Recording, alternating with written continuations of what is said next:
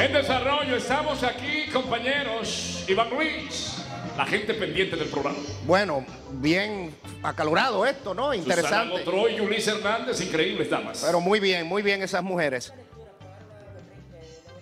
En primera, en, segunda, lectura. aprobaron. Nos envía a comisión para aprobar en segunda lectura el proyecto AFP 30%. No, De pero tú sabes una cosa, ese Señores, proyecto, corrijan pero eso. Perdón, perdón, perdón, perdón. Corrijan eso. Se Vamos conoció en segunda No se ha lectura. conocido, Julio. Yo lo escuché ahora mismo. lo Se envía escuchó? a una Señores, comisión para que se corrijan en eso, porque lectura. corrijan eso. Vamos, señores, una de las cosas que yo más propugno aquí y que mantuve muy en control en la pandemia es confirmar las informaciones. No me interesa dar primicia, no me interesa, me interesa decir la verdad.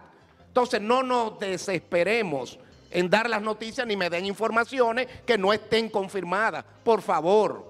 Con relación Vamos, a ese presupuesto, Eh. déjame decirte que ellos hicieron hoy justamente lo que no hicieron cuando se leyó en primera lectura. 24 horas y fue aprobado. No se envió a comisión y necesitaban dos días para estudiar ese presupuesto complementario. comisión. Ahora sí se hizo lo correcto porque ahora lo mandaron a comisión. Claro, es así. Por favor. Vamos, dime, Ruskin. Vamos a escuchar lo que ocurre en la Cámara de. Diputados. Yo pensé que estaba tocando a alguien una puerta. Mayeste, el Mayeste. Yo hasta iba a abrir el estudio aquí. Mayeste. Lo que están viendo en sus pantallas. Lo que están viendo en sus pantallas es el, el sistema este de, de conteo electrónico que hay en la Cámara de Diputados. Pero ahí es que votan, El Expliquemos para dando- qué están votando. Sí, eh, De nuevo. Sí. Ahora, ahora mismo no sé cuál de las medidas Ah, ok. está presentada. Cuando, cuando entramos no Si es sabía. en vivo, ya pasó lo de la AFP. Si es en vivo lo que tú estás presentando ahí. Eso es en vivo Si es en totalmente, vivo ahora ¿verdad? mismo. Bueno, La cámara, en la Cámara No, no, se llama ellos, porque-. Eh, oye, Ru, Aprobado en segunda lectura. Proyecto, dígame. proyecto. Sí, el proyecto de ley, sí.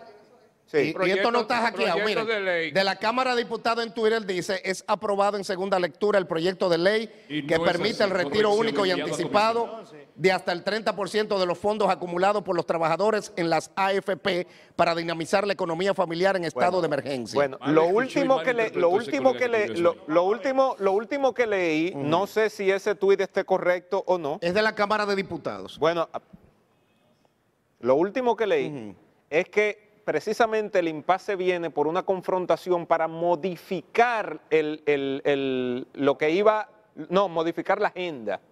Y que dentro de esa modificación había una modificación para que no entrara o sí entrara lo de la AFP. Al final, ¿cómo salió la votación? Vamos a esperar esa confirmación. correcto. Porque no la tengo. Estamos dando una noticia preliminar Claro, vamos a esperarla. la- yo no lo sé. que colgó la Yo Cámara de sé. Diputados Si en Twitter. Si no es un hackeo, y no lo creo. exacto. el Si no hackeo, diario- pues el está ahí. ¿Tú lo tienes ahí? El Yo lo tengo listín diario-.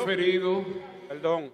El listín diario dice que se aprobó en segunda lectura. Ahí está, Se entonces. pues aprobó ahora en sí. segunda lectura. Como que yo Esto dije. pasa ahora al Senado de la República, Ajá. donde también tendrá que tener dos No, lecturas. porque Germán no es Para loco. Y sin modificarle ni una coma Ahora, para que pueda no, ser aprobado. No, el Senado le puede modificar. Ahora Ah, sí le que modifican, aunque sea una Cámara. coma, tiene que volver a la Cámara de Ah. Diputados. Sigue para atrás otra vez.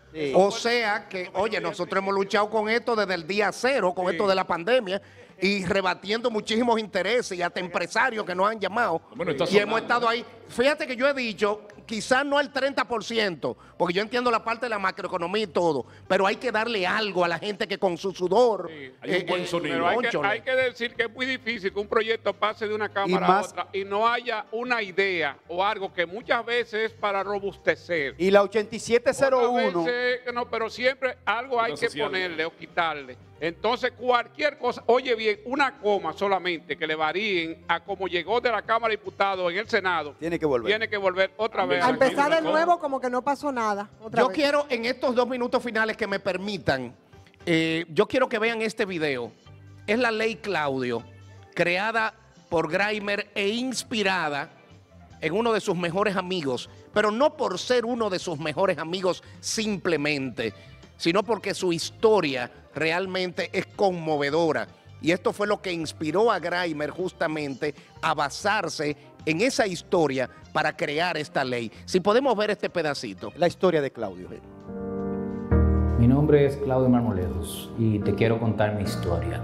Yo llevaba una vida normal con mi familia y un día que fui a visitar a mi prima, la doctora Carolina de la Cruz, nefróloga, ella se fijó que mi cuerpo estaba hinchado.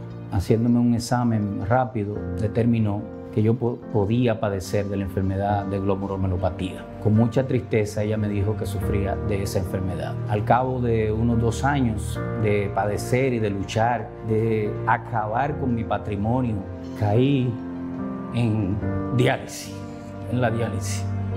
Fue terrible. Me puse en lista de espera, como se ponen todos, lista de espera en que aparezca un riñón. familia mía que es larga, todos hicieron la el intento de poder, solo pudo uno, Elías Marmolejo, que fue quien finalmente pudo donarme un riñón.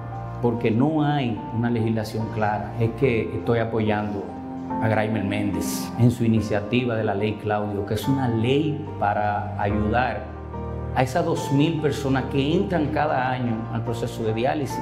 Una verdadera ley de trasplante y donación de órganos. Lo que más sufrimiento me dio de toda esta, esta situación mía fue el estado por lo que pasó uno de mis hijos, de mis tres hijos, que fue Isaac.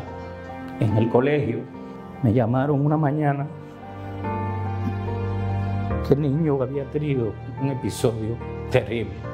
La expresión en su rostro fue que él estaba sufriendo mucho por la enfermedad en la que yo me encontraba.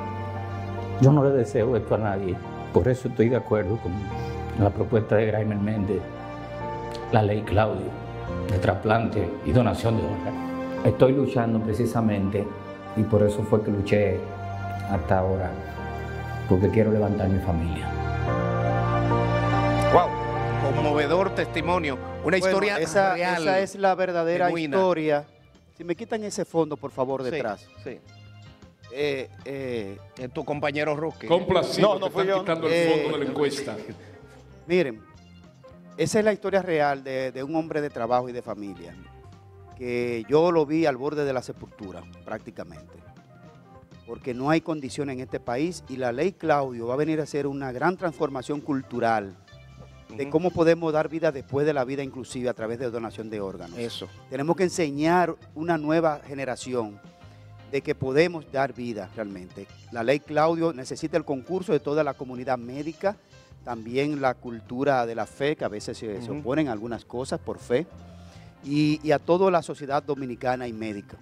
Vamos a impulsar y a abrir un debate con varios foros para ver cuál es la mejor ley que podemos sacar. Estamos contigo, nos unimos a esto. Que Dios los bendiga a todos. Hasta mañana. Así con la ley Claudio, una propuesta de Graimer Méndez. Nos vamos. Mañana Dios mediante. Nos vemos.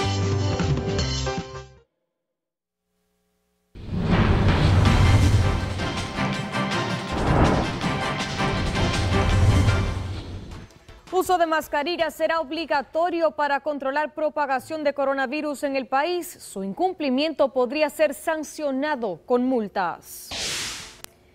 175 infectados por coronavirus se encuentran ingresados en cuidados intensivos.